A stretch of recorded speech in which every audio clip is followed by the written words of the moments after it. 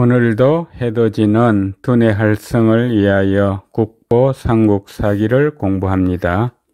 신라 26대 진평왕 47년 동 11월에 견사대당 조공하니라. 인송하되 고구려 색로하여 사부덕 조하고 차삭 침입하니라.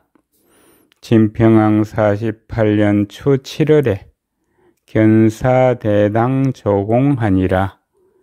늑사 열십 일곱칠 해년 겨울동 열십 한일 달을 서기 625년 11월에 보낼견 하여금사 여기서는 사신사 컨대 당나라당 아침조 여기서는 조정조 바칠공 당나라에 사신을 보내 조공하고 이날인 송사할송 여기서는 호소할송 너풀고 걸기구 고울려 막힐색, 길로, 고구려가 길을 막고, 막힐 색은 두 가지 뜻이 있습니다. 1번 변방색, 2번 막힐 색. 여기서는 2번 막힐 색입니다. 하여금사, 안일불, 어들덕, 아침조, 여기서는 조정조, 조공하지 못하게 하며 또차 자주삭 침노할 침 덜입 자주 침범한다고 앞으로 들어가서 호소할 송 호소하였다. 자주삭은 두 가지 뜻이 있습니다. 1번 샘수, 2번 자주삭. 여기서는 2번 자주삭입니다.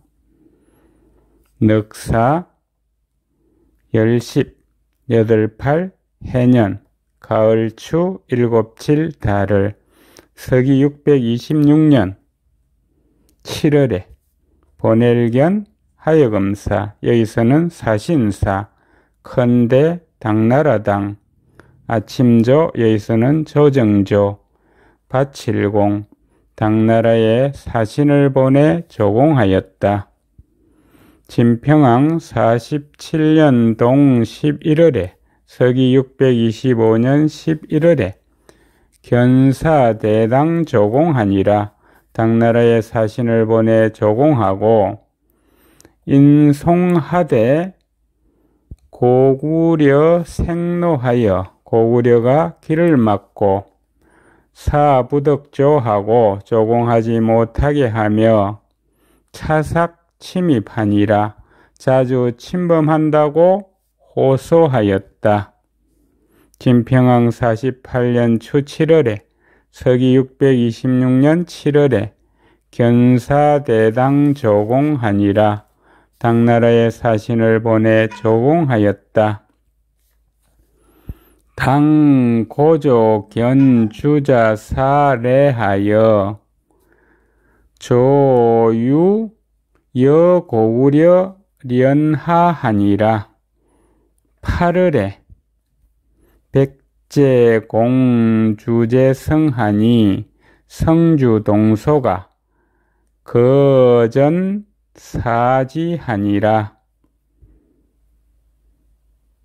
축 고성하니라. 당나라당 높을고 할아버지죠.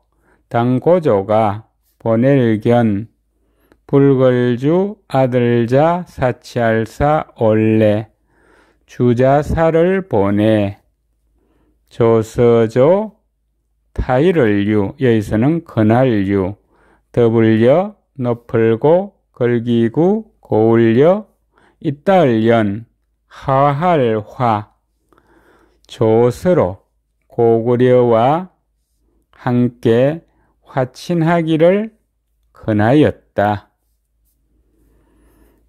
여덟 팔 달을 8월에 일백백 건널제 백제가 칠공 주인주 이슬제 재성 주재성을 공격했는데 재성 주인주 동력동 바소 성주 동소가 막을 거 싸움 전 죽을 사 갈지 막아 싸우다가 죽었다. 쌀축 너풀고 터허 재성 고허성을 쌓았다. 당 고조 견 주자사례 하여 당고조가 주자사를 보내 조유여 고구려 연화하니라 조서로 고구려와 함께 화친하기를 권하였다. 8월에 8월에 백 제 공 주제 성하니 백제가 주제 성을 공격했는데 성주동소가 성주동소가 그 전 사지하니라 마가 싸우다가 죽었다.